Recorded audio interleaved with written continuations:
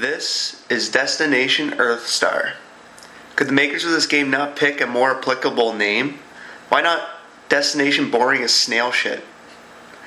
So apparently there's a plot to this game. 200 years ago, a random number of Earthlings were captured for slave labor. They eventually earned their freedom and the privilege to live amongst the aliens as equals.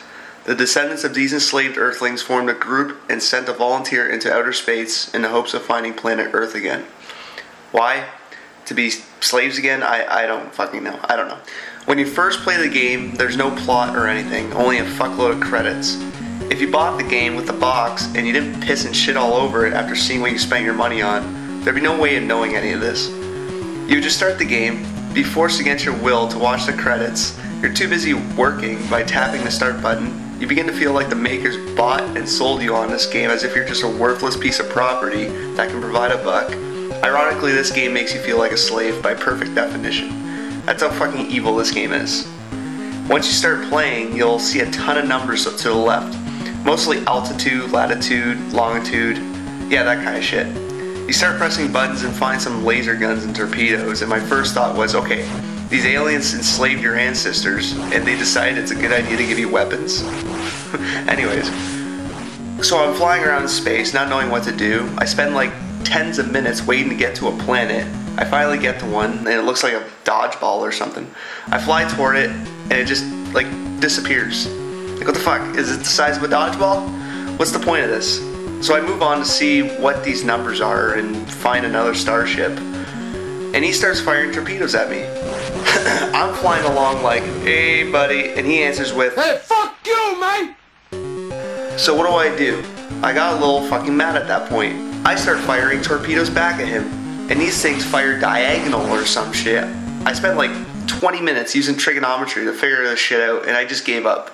Even Einstein would have said, what the fuck? It's like you can be facing them completely straight and fire, and they just go wherever they want. When I hit somebody, it's total fucking luck. So don't use the torpedoes. They should have been called torpedoes. Use your ruby laser. It has a crosshair, so at least you know where you're shooting. It's the only thing that works in this game. So kill Gladio Bumfuckio and move on to the other numbers to kill more people and ships. Like this game is training you to be some kind of pan-galactic serial killer. Oh, my phone is ringing. I need to pause the game. So what do I do? Like any other normal person playing Nintendo would do, you press start. It changes my gun. I'm thinking, okay, I press select. Guess what that fucking did? It switches the screen to show me which weapon I'm using, just in case I can't see the fucking crosshairs in front of my face and I'm second guessing myself. How about a screen that shows me the controls for cockadoodle's sake? So I have to find my remote to mute the music since I'm too embarrassed to have this playing in the background of a conversation. After the phone call, I go make a drink since it's gonna be a long fucking night. I go back to the game and it says game over. What the fuck? Was there a time limit? No, your ship has energy. After looking at all the other dumb number shit, I didn't bother looking at anything else. So I must have ran out of energy when I wasn't playing. So I got a little upset. I watched the credits at the beginning to see who was responsible for designing this this thing. And it turns out two people designed this game. Two people. Two fucking two men made this game.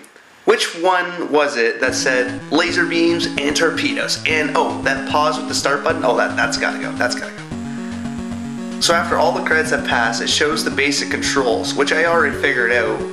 But then there was all this whole other set of controls where you only had a few seconds to read the first few and only remember one or two. So to see the controls again, you have to watch all the credits all over again. Fuck that. So to pause the game, you have to press A and B while pressing B, slightly pressing A to get it to work. Why it had to be like that, I don't know. So I try pausing the game. The screen pauses, but the fucking music is still playing. What the fuck? I want to be quiet. I shouldn't have to get up and mute my TV. But then when I unpause the game, the music was off, which means you can cycle through it and switch it off through pausing the game. Oh, really? I thought it was gonna be like something like up, up, down, down, left, right, left, right, BA, start fucking yourself. There's also a way to change the speed, which makes things a little less than holy fuck, this is boring to this is completely boring as shit. So once I figured this out, I went back to one of the plants and approached it more slowly. I finally landed on it, or orbiting it, or it's going down on you, I don't fucking know. You might get some resources for doing it, or it'll say it's uninhabited to the shit. Whatever. So once you take out all the other ships in the map, a planet shows up that you have to land on and blow up, I think. You go to it, and my screen all of a sudden does some glitch or something. And then you're shooting on a two dimensional screen, and you start to feel like you're playing a game. However, mine, I can't see shit. I keep crashing in invisible walls and it's just pissing me the fuck off. It's like the enemy has godlike power to do anything, like the power of illusion, including killing you instantly through thin air. So I can't beat it, but apparently there's like seven more of these missions you have to do to see the ending. And like every Nintendo game, I'm sure it's a spectacle I can't miss. Oh, here's the ending. You're welcome back to Earth after you blew it the fuck up. Fuck this game.